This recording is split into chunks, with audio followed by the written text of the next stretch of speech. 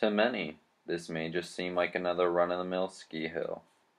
But to me, it's much more than that. It's a home away from home. Bogus is much more than its lackluster vertical feet may add up to be. No. Bogus is but a gem stashed away in the Boise National Forest.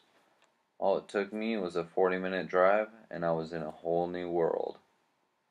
As I rode the chairlift to the top, I could almost feel my stress being left behind.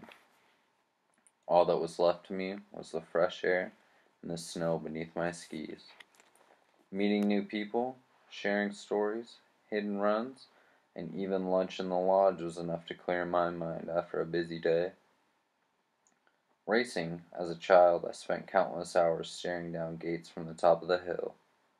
Little did I know these gates were preparing me for something, a series of gates we call life. Passing a test, getting a job, graduating college are all some gates we'll be faced with. Anytime life gets rough, I picture these gates, and I know they'll be gone before I know it.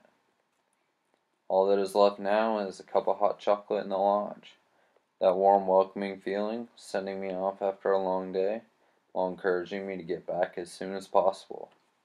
Skiing is a way of life, and Bogus showed me that.